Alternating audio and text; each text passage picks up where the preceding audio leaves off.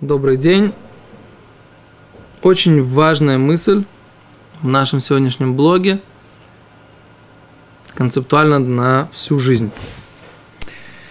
Итак, Йосеф в нашей недельной главе открывается братьям. Йосеф говорит, не может больше терпеть то, что говорит Иуда, и говорит, чтобы все ушли, остается наедине с братьями, и говорит им, они Йосеф, Гаод Авихай. Вот я Йосеф, жив ли еще отец мой? Есть много разных комментариев, мидрашей на этот момент. Мы остановимся сегодня на одном принципиальном э, мидраше, который напи- приводит здесь мидраш раба. Вело юхлу эхав лаанот Не могли братья ему ответить. Киннивгалуми панав, поскольку они были, испугались его, удивились. Говорит, говорит Медрас так. Аба Коин Бардала Амар. Ой лану мием один, ой лану мием атохаха. Ой лану, то есть э, страшно нам от дня суда, ой лану мием атохаха. Страшно нам от дня увещевания.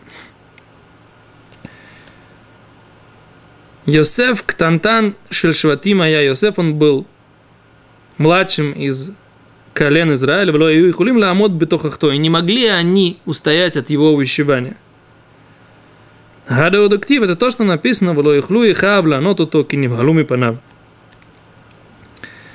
Не могли братья ответить ему, поскольку они испугались его. לכשיבוא הקדוש ברוך הוא ויוכיח את כל אחד ואחד לפי מה שהוא שנאמר, הוכיחה ערכנו לעיניך.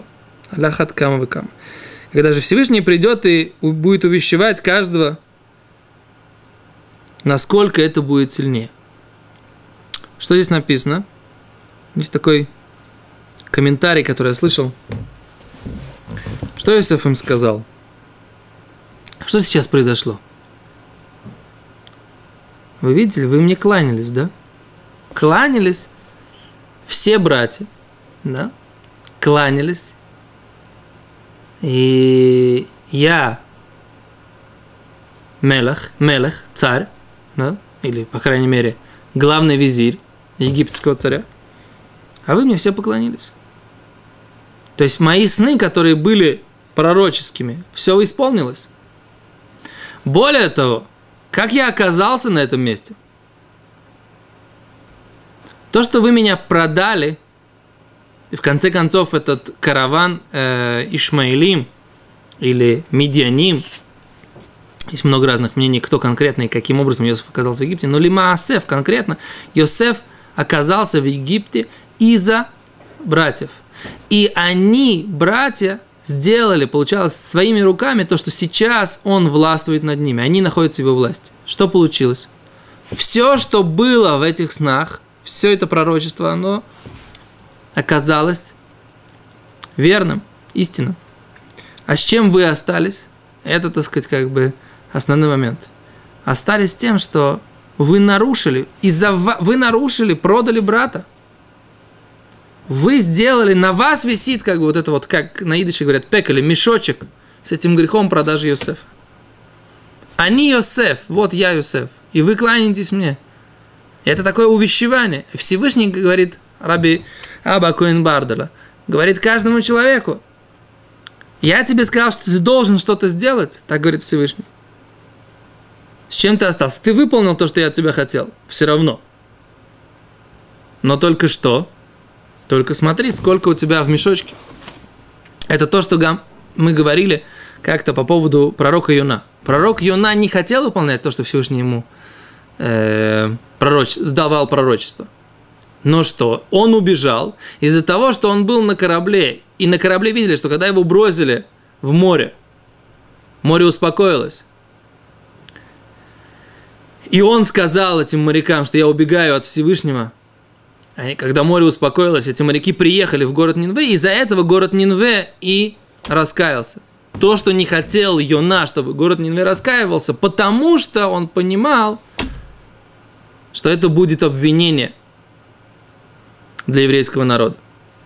Что жители Нинвы так легко раскаиваются, а еврейский народ так жестоковый. Так получилось, что из-за того, что он показал этим людям, из-за этого именно они и раскаялись. Они видели, что Всевышний действительно успокоил море сразу, когда бросили пророка Юна в море. И поэтому, когда они пришли в город, они об этом рассказали. Поэтому, когда пророк Юна все-таки после того, как он оказался в э, животе у рыбы, и она его выплюнула, и все равно он пришел в этот город, выпол- выполнил то, что Всевышний сказал, они услышали, и весь город приняли, потому что были живые свидетели того, что то, что говорит этот пророк, это истина. То же самое и здесь. Они говорят, Иосиф говорит, вы видите, что все мои сны оказались истинными. А что получилось? Что вы привели к тому, что все осуществилось, но вы остались с грехом. Или как пророк Юна, ты остался с тем, что ты не хотел слушаться Всевышнего. И про это говорит Рамбан, Нахманит, в комментарии на прошлую недельную главу, он говорит, что гзейро и эмес вехарицус шекер. Постановление Всевышнего – это истина, а суета вокруг того, что мы пытаемся его отменить, это все ложь. Это великое такое правило – которые мы должны для себя усвоить. Теперь у нас нет пророчества. У нас нет пророчества. Мы... Но у нас есть законы Торы. То есть, если мы думаем так, сейчас мы не пойдем заниматься Торой, выполнять какую-то заповедь Торы, мы расскажем про кого-то лошанора, какую-то негативную информацию. Почему? Потому что нам кажется, что это поможет. Мы нарушаем закон Торы – и нам кажется, что это будет лучше, это приведет нам к каким-то следствиям. В конце концов, Всевышний все равно приведет это к тем э, следствиям и к тем результатам, которые ему нужны. Как? Неважно. От нас требуется только выбирать действовать по Торе. Если мы выбрали действовать не по Торе, в конце концов, это все приведет к тому же самому, что Всевышний хотел. Только мы останемся с тем, что мы согрешили, мы сделали грех. Мы выбрали быть в этой цепочке, идущим против воли Творца. Все в конце концов Всевышний закрутит туда, куда он хочет, чтобы это закрутилось. А от нас требуется только что? Мы должны выбирать, действовать ли фигзейра по постановлению Всевышнего. Как Всевышний повелел в Торе делать, так мы и должны делать. Самый красивый пример приводил нам его Равыцк Зильбер. Я его всегда, всегда, всегда повторяю. Раб Авром Миллер в Москве в синагоге преподавал Талмуд. И рассказывают, что вот эта группа, там учились люди из группы Рава Эсоса, наш э, преподаватель, очень хороший Рав Элиэзер Ксида, там, я так понимаю, тоже появлялся, да? Может быть, не появлялся, но он из Питера, не знаю. Лимайса, да? Вот эта вот группа людей, которые э, начинали в Москве. Рабавром Миллер преподавал им на русском. А КГБисты не разрешали преподавать на русском. Тогда, когда появлялись всякие новые люди, он начинал говорить на идыше. Типа на идыше, ну, для стариков на идыше, а для молодежи на русском нельзя. Так что произошло? Через э, какое-то время открылась Ешива Тора Атхаим, и открылись еще Ешивы в Москве. И сейчас Тору изучают на русском. Так что было? Да? Когда Тору изучали на идыше, все вот эти люди, которые хотели стать э, умнее Торы, они что делали? Они пытались запретить изучать Тору на идыше. Да? Или хотели уничтожить еврейскую культуру. Люди не будут знать идыш, не будут знать иврит, да? Мы не дадим им возможность э, иметь доступ к этим источникам. Что сейчас происходит? Всевышний все равно через какое-то время, да, у них получалось на какой-то короткий промежуток времени что-то получилось. Да, было много страданий. Да, не все эти люди, которые участвовали, помогали этому, они все выбрали быть, идти против Всевышнего. Но в конце концов Всевышний сделал так, что Тору изучают на русском языке. Гзейро и эмес, постановление Всевышнего – это истина. А вся эта суета вокруг того, что пытаются пойти против Всевышнего – это ложь. Даже если кажется, что это лучше людям, это кажется, что они достигнут каких-то целей, каких-то результатов, конце концов Всевышний все равно выведет это туда, куда он считает нужным это вывести. А человек останется только с тем, что он выбрал идти не по воле Всевышнего. Поэтому вывод, который мы должны сделать – от нас требуется только одного – идти, соответственно, законом Торы, соответственно, воле Всевышнего. А там уже, куда Всевышний это приведет, это уже не наше дело. Большое спасибо.